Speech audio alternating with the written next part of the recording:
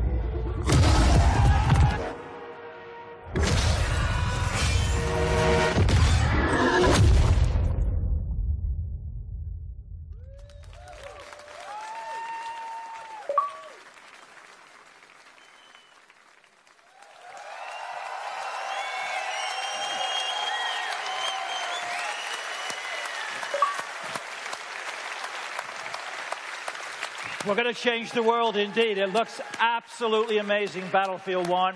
So